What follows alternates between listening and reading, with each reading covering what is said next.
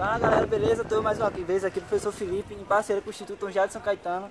E continuando, lembra daquele muro que eu falei na aula anterior? Então, continuando aqui, ó, gosto de mostrar pra vocês o pilar que a gente tava quebrando. À medida que a gente foi quebrando esse pilar, tá vendo isso aqui exposto? Isso aqui já tava exposto, isso aqui não foi a gente que deixou assim não, a gente quebrou não, a gente quebrou essa parte de cima aqui, ó. E aqui, ó, totalmente exposto, ferragem exposta, você vê tá enferrujado aqui, ó. E uma coisa que acontece muito nas, nas estruturas de concreto armado é o seguinte, à medida que você deixa uma parte exposta, a outra vai enferrujando também. Aproxima aqui, cameraman, por favor. Isso aqui totalmente dentro do concreto, ó. Expo, enferrujado. Consequentemente, dentro também vai estar bem oxidado. Porque deixou uma parte exposta e exposta do resto. Principalmente aqui, que, que recebe muita maresia, que a gente está próximo à praia. Então, além disso, não tem amarração. O que acontece? Aquela telinha que eu mostrei a vocês nas aulas anteriores, que a gente fixa lá no pilar para poder construir a alvenaria em cima não existia aqui. Consequentemente, a alvenaria não está sustentando o pilar e também ocorreu também, a, ocorreu também o pilar sair de prumo. Vou mostrar aqui a vocês rapidinho. Lembra que eu mostrei, botei a régua e não estava alinhado, né? Então próximo aqui, camarada, para poder mostrar a bolha nível.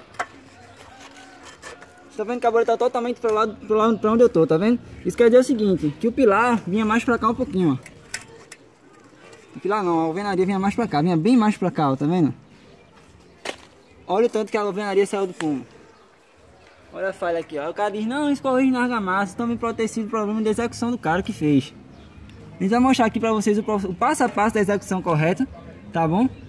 Pra vocês terem a noção de como fazer. E se você não for construir ou for um técnico de edificações, for um engenheiro, um arquiteto, vai ter uma noção exata de como saber avaliar o passo a passo da construção de um muro. Para quando você chegar na obra, rapaz, não tá certo não, tá errado, não é assim não, é assado. Vou mostrar vocês passo a passo, vocês vão ver como esse muro aqui vai sair prumo. Falou? Não se...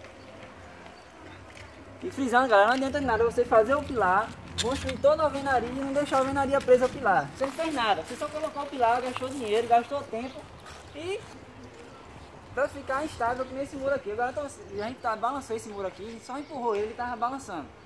Lógico que a gente vai fazer isso agora porque tem gente circulando por aqui, tem gente circulando na rua, a gente não quer correr isso também derrubar o muro. A gente tá derrubando ele aos pouquinhos para não, aconteceu um acidente aqui, tanto com a gente quanto o pessoal que está passando. A gente empurrou, ele realmente balançou com as nossas próprias mãos. Então, como, como já disse a vocês, eu repeti, não adianta nada você fazer o pilar de concreto e não fixar a alvenaria nele. Não fez nada, não fez nada. Só fez gastar dinheiro e tempo. Certo? Bom, então é isso pessoal, não se, inscreve, não se esqueça de se inscrever no nosso canal, compartilhe com, amigo, com os amigos de vocês, que vai ser um material show de bola aí pra vocês, beleza? Valeu, um forte abraço e acompanha a gente aí.